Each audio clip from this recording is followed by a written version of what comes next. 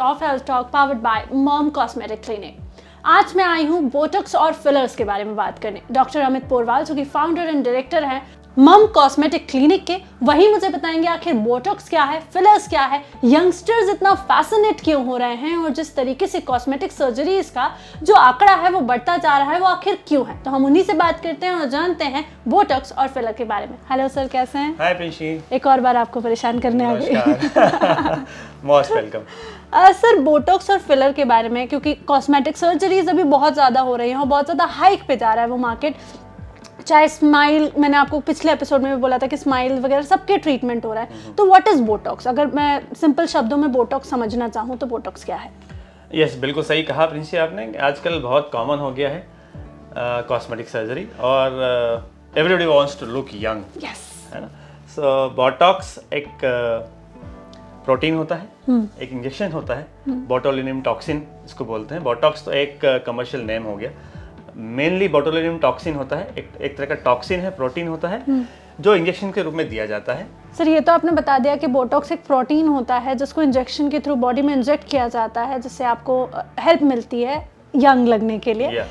तो क्या यंगस्टर्स भी इसे यूज़ कर सकते हैं या बिल्कुल बिल्कुल ऐसा नहीं है कि मिडिल एज या ओल्ड एज में ही इसका यूज़ होता है यंगस्टर्स हम्म। भी यूज़ कर सकते हैं आजकल most of the youngsters are coming so botox हम देते हैं एक फ्रेश uh, चेहरा फेस दिखाने के लिए। और uh, ताकि एज स्किन नहीं दिखे यूथफुल स्किन दिखाने के लिए हम उसको बोटॉक्स का यूज़ किया जाता है। अगर मैं बोटॉक्स करा रही हूँ जैसे मैं बोटॉक्स करा रही हूँ तो मैं क्या क्या एक्सपेक्ट कर सकती हूँ? Botox generally upper middle face के लिए किया जाता है। अपर मिडिल फेस जैसे क्रोफिट हो गया आइस जब हम स्माइल करते हैं तो आप की आइस के आसपास वो हो जाते हैं रिंकल्स हो जाते हाँ हैं फोरहेड क्रॉफिड फोरहेड रिंकल्स हो जाते हैं। Okay. इसको मिनिमाइज करने के लिए इसको कम करने के लिए बोटॉक्स का ट्रीटमेंट किया जाता है। तो कितने टाइम तक अगर ट्रीटमेंट ले लिया तो कितने टाइम तक बोटॉक्स लास्ट करता है? Botox generally six to eight months nine months तक लास्ट करता है। अगर हमने एक बार उसके यूनिट्स ले लिए हैं तो सिक्स टू नाइन मंथ्स तक उसको लास्ट करता है।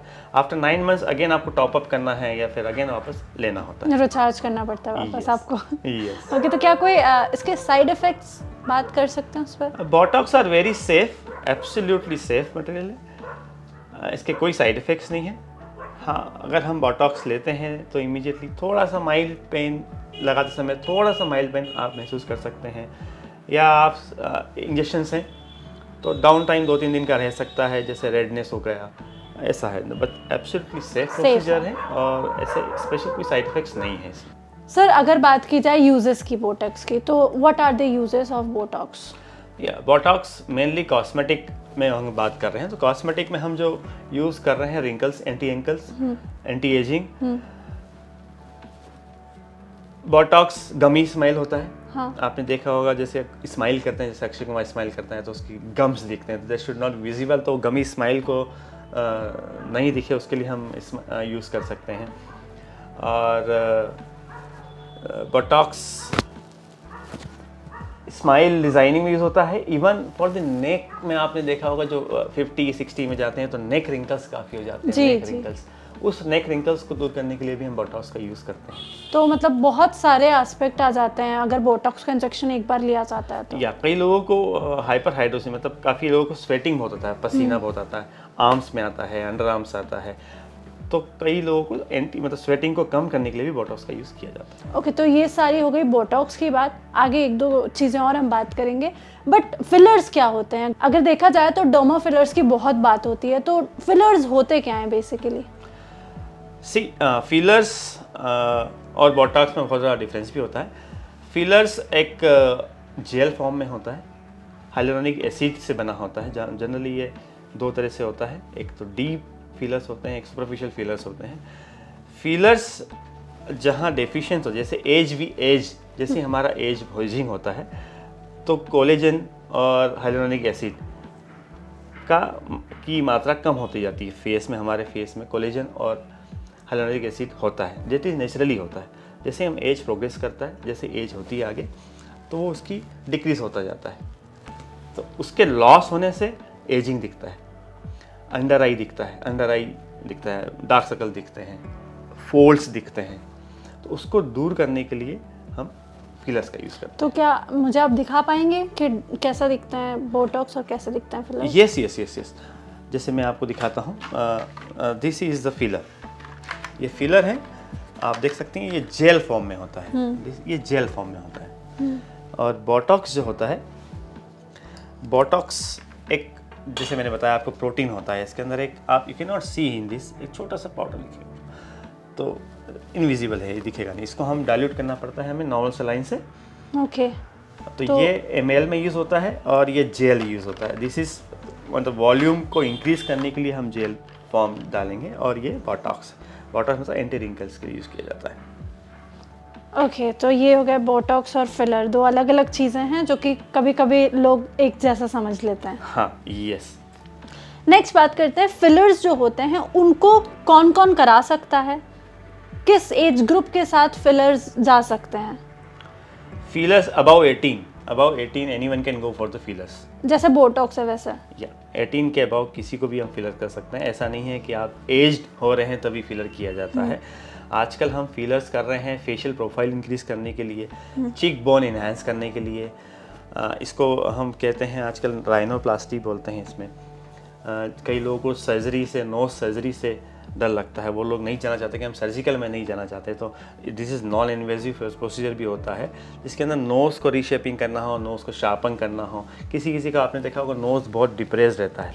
तो उसका शार्प टिप करना हो उसको उठाना हो तो उसके लिए भी हम इसके लिए यूज़ किया जाता है। जैसे कि अभी आपने मुझे ये बताया था कि botox eight to nine months चलते हैं। उसके बाद आपको एक बार फिर से टॉपअप या फिर इंजेक्शन लगवाना पड़ता है। Yes. तो फिलर्स कितने टाइम तक चलते हैं? फीलर्स जैसे मैंने बताया कुछ फीलर्स होते हैं टेम्प्रेरी फीलर्स कुछ सेमी परमानेंट और कुछ परमानेंट फीलर्स होते हैं। परमानेंट फीलर्स में कुछ साइड इफेक्ट्स आ गए हैं से परमानेंट फीलर्स आजकल यूज़ करना बंद कर दिए हैं। तो हम सेमी परमानेंट जो होते हैं उसको यूज़ करते हैं। उसका अमूमन one to one and half years fillers चलता है। एक बार हमने यूज़ किया तो वन एंड हाफ़ ईयर्स तक चलता है फीलर्स तो अगर कॉस्ट इफेक्टिवनेस की बात की जाए फिलर्स में और बोटॉक्स में तो दोनों में से कॉस्ट इफ़ेक्टिव कौन सा है और किसमें ज़्यादा हमें हेल्दी रहने की या फिर अपनी एक्टिविटीज़ को कंट्रोल करने की ज़रूरत पड़ेगी?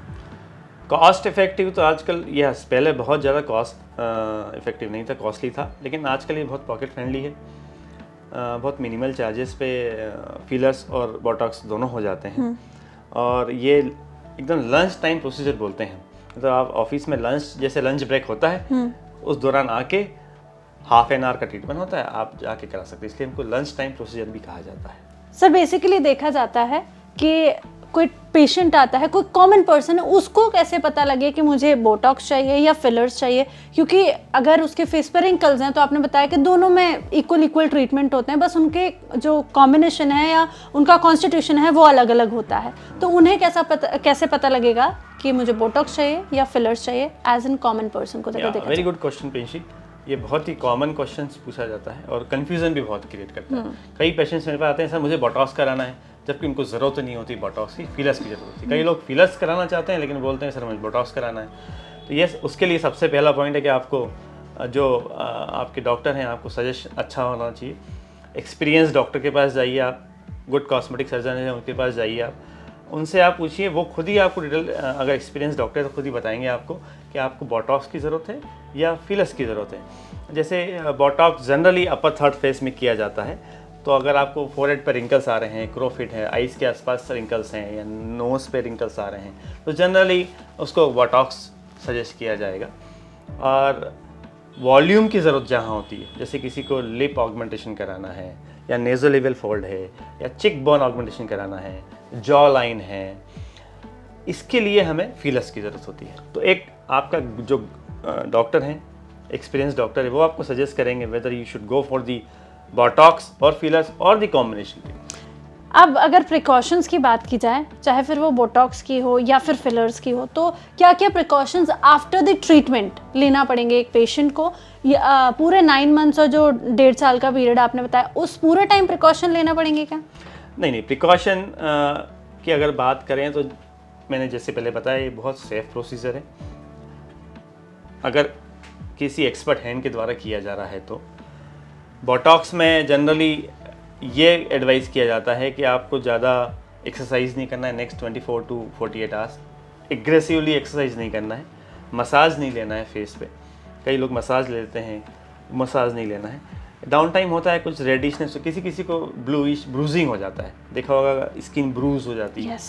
नीली पड़ जाती है जिसको बोलना है. वो होता है वो डाउन टाइम छः सात दिन में चला जाता है. फीलर्स में हमें ज़्यादा नीचे नहीं देखना है उल्टा नहीं सोना होता है. फेस के उस पर नहीं सोना होता है. अगेन मसाज नहीं लेना होता है। विग्रस एक्सरसाइज अलाउड नहीं है फीलर्स में नेक्स्ट सेवेंटी टू आवर्स उसके बाद आप रेगुलरली अपना काम कर सकते हैं। जस्ट ये जो भी प्रिकॉशन है नेक्स्ट तीन चार दिन के प्रिकॉशन है। ऐसा नहीं है आपको पूरे साल भर कोई प्रिकॉशन लेना है। सर आपने बोटॉक्स फिलर बहुत अच्छे से समझा दिया है। अब आप एक मैसेज इंदौरी पब्लिक को दे दें जिससे वो बोटॉक्स फिलर्स के बारे में जान कर समझ कर आगे क्या करें वो बता दें। या बोटॉक्स फिलर्स एक वेरी सेफ़ ट्रीटमेंट है। बहुत ही सेफ़ ट्रीटमेंट है. एनी वन कैन कम जैसे मैंने बताया 18 ईयर्स के अबाव कोई भी आके अपना ट्रीटमेंट ले सकता है. यस प्रिकॉशन ये होना चाहिए कि जहाँ भी आप जा रहे हैं, जिससे भी आप ट्रीटमेंट ले रहे हैं एक्सपर्टीज़ इज़ वेरी इंपॉर्टेंट क्योंकि डीप एनाटमी फेस की एनाटमी है डीप एनाटमी है, उसका नॉलेज अच्छा होना चाहिए, उसका एक्सपीरियंस होना चाहिए डॉक्टर का. आप उन्हीं से करवाएँ. अच्छे सेंटर पर जाइए, अच्छे डॉक्टर से कंसल्ट कीजिए. तो आप अपना यूथफुल अपीयरेंस हमेशा रख सकते हैं. और कई लोग आते हैं बोटॉक्स ट्रीटमेंट सेकेंड दो time triple time again again लेते हैं। लेकिन ऐसा नहीं होना चाहिए कि आपका बोटॉक्स आपने छः महीने पहले लिया, उसका इफ़ेक्ट साल भर तक रहा या एट महीने तक रहा, उसका इफ़ेक्ट वैनिश होने के बाद ही आना चाहिए। सिक्स टू एट मंथ्स के बीच में आ जाएँगे तो एक टॉप अप होता है। That is a smart move to get this treatment done तो आएँगे डॉक्टर आपका टेन यूनिट्स या ट्वेंटी यूनिट्स आपको देंगे टॉप अप हो जाएगा। Same with the fillers also fillers एक से डेढ़ साल चलता है। आप उसका इफ़ेक्ट ख़त्म होने के पहले आएँगे तो थोड़ा सा टॉप अप लगेगा और आप उसी अपियरेंस को कंटिन्यू आप कर सकते हैं। Thank you so much sir आपसे बात करके बहुत अच्छा लगा। एंड बोटॉक्स एंड फिलर्स के बारे में आपने प्रॉपर डेफिनेशन के साथ बहुत ईजी लैंग्वेज में सबको समझा दिया। Thank you thank you so much thank you अगर आप ढूंढ रहे हैं बोटॉक्स और फिलर के लिए वन स्टॉप सोल्यूशन और हो जिनके पास एक्सपर्टीज प्रॉपर डॉक्टर्स और प्रॉपर गाइडेंस और साथ ही आपको वो बताएँ प्रॉपर प्रिकॉशंस और आपको हमेशा लगने दे यंग तो आपके लिए वन स्टॉप सोल्यूशन है मम सुपर स्पेशलिटी कॉस्मेटिक सेंटर जहाँ आप आकर बोटॉक्स भी करा सकते हैं फिलर्स भी करा सकते हैं और हमेशा लग सक और हमेशा लग सकते हैं कॉन्फिडेंट एंड अप्रिशिएबल